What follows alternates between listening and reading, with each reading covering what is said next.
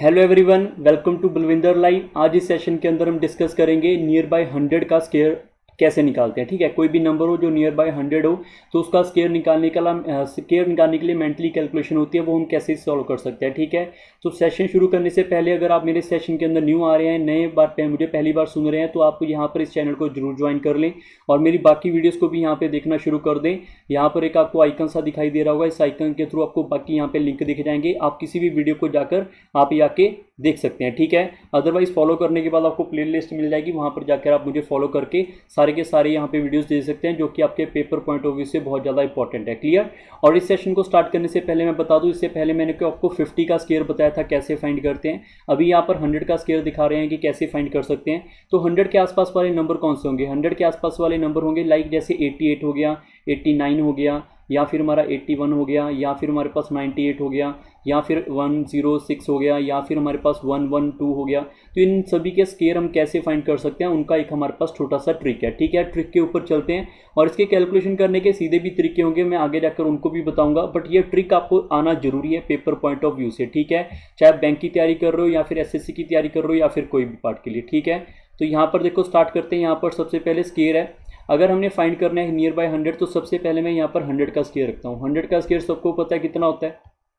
चार ज़ीरो लग जाएँगी साथ में, ठीक है? दो ज़ीरो दो ज़ीरो और बढ़ जाएँगी। और अगर मेरे पास 108 है तो इसको कैसे करेंगे? ठीक है, मैं यहाँ पर लिख के दिखाता हूँ पहले। 100 है 100 से 8 108 नंबर 108 इससे कितना ज़्यादा हो गया? 8 नंबर ज़्यादा हो गया।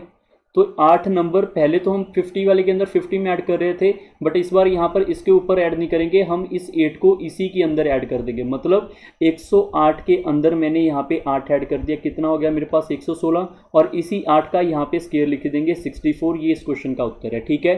फिर से देखो 108 का मैंने आपको क्या लॉजिक बताया? 108 आप मेंटली कैलकुलेट कैसे करोगे? हंड्रेड से कितना ज़्यादा है? आठ नंबर। आठ नंबर आप इसी में ऐड कर दोगे, कितना हो जाएगा? एक साथ में क्या हो जाएगा? आठ का स्केयर क्लियर एट का स्टेयर फिर से चेक करो, यहाँ पर 102 का कैसे निकालोगे? 102 का। यहाँ पर 100 से कितना नंबर ज़्यादा है हमारे पास? टू तो टू आप इसी में ऐड कर दोगे, कितना हो जाएगा? 104 और टू का स्केयर पीछे लिख दोगे 04 फिर। से चेक करो, जैसे मैंने 118 लिखा 118 का आप एक बार खुद ट्राई करो। 118 का कैसे करोगे? 100 से 118 को देखोगे, कितना नंबर ज़्यादा आ गया? एटीन तो एटीन आप इसी में ऐड कर दोगे, ये कितना हो जाएगा? वन बट जब एटीन का स्केयर करोगे, वो आएगा थ्री तो वो एक डिजिट आपका इसके नीचे होगा, बस इसको याद रख लेना है। इसमें गड़बड़ कोई भी स्टूडेंट मत करना, ठीक है? ये आपका कंसेप्ट है। एक नंबर मैं और बता देता हूँ। जैसे मैंने लिखा है 112 का स्केयर हंड्रेड से कितना ज़्यादा नंबर दिख रहा है? बारह नंबर तो आपने बारह नंबर इसी में ऐड कर देना है। कितना हो जाएगा? एक सौ चौबीस। और बारह का स्केयर इसके साथ लिख दोगे वन डबल फोर उसको ये यहाँ पे थ्री डिजिट नंबर आएगा तो हमेशा ऐड करेंगे, ठीक है? One two five four four ये इस क्वेश्चन का उत्तर है, ठीक है? समझ आ गई कहानी? अब चलते हैं, एक और क्वेश्चन एक और यहाँ पे तीन चार क्वेश्चन करते हैं इसी के ऊपर। हंड्रेड का स्केयर तो सभी को पता ही दिया था मैंने अभी अभी ठीक है? और अगर लिखे नाइन्टी नाइन तो आपको दिख रहा है कि हंड्रेड नाइन हंड्रेड से जो नाइन्टी नाइन है वो कितना नंबर कम है? एक नंबर कम है तो नाइन्टी नाइन में से एक नंबर कम कर दोगे, कितना आएगा? नाइन्टी एट और एक इसका स्केयर कर दोगे वन का स्केयर ज़ीरो वन हमेशा दो डिजिट यहाँ पे लिखे जाएँगे, ठीक है? जैसे 92 92 अब 100 से कितना कम दिख रहा है? 8 तो 8 आप 92 में से कम कर दोगे 8 करोगे तो यहाँ पर आएगा 84 और यहाँ पे 8 का स्केयर आ जाएगा 64 ये इसका उत्तर होगा कहानी समझ आएगी फिर से एक बार चेक करो 89 का।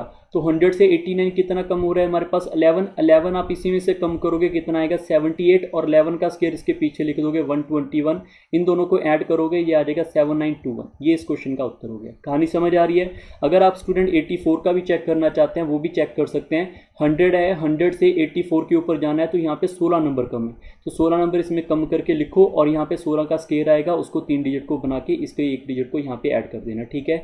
अब इसका जो भी उत्तर आएगा, वो यहाँ पे आप कमेंट बॉक्स में ज़रूर मुझे बताओगे, आपका जो भी उत्तर आए। क्लियर अब चलते हैं हमारे पास नेक्स्ट पार्ट के ऊपर। मैं आपको सिर्फ़ ये बताना चाहता हूँ कि इस चैनल के अंदर अगर आप ज्वाइन करते हो, आने वाले टाइम के ऊपर आपके जितने भी ईजी कैलकुलेशन वाले मैथड होंगे, सारे के सारे यहाँ पे अपलोड होंगे।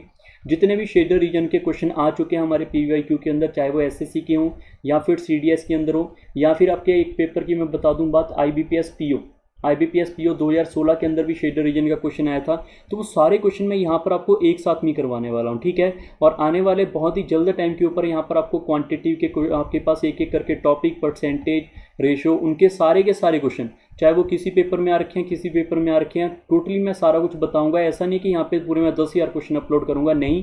मैं आपको एक एक टाइप आपको हर एक क्वेश्चन की बताऊँगा, उसी को कर लेना, उससे आपका पेपर कोई बाहर से नहीं आएगा, ठीक है? और इसके अलावा आपको इस सेशन के अंदर मैं रीजनिंग बहुत जल्दी वो भी स्टार्ट करने वाला हूँ रीजनिंग के छोटे छोटे कंसेप्ट जैसे डायरेक्शन ब्लड रिलेशन सेलॉगिज्म आधे बच्चों को सेलॉगिज्म नहीं पता चलता क्या होता है सेलॉगिज्म के क्वेश्चन कैसे करते हैं, वो सारा कुछ मैं अपडेट करने वाला हूँ, ठीक है?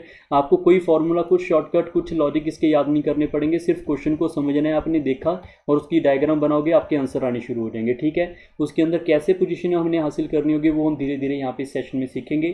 तो इसके लिए आपने क्या करना है, अगर आपको ये वीडियो अच्छी लग रही है तो वीडियो को यहाँ पे लाइक ज़रूर करें कमेंट करके ज़रूर बताएँ कि ये सेशन आपको कैसे लग रहे हैं।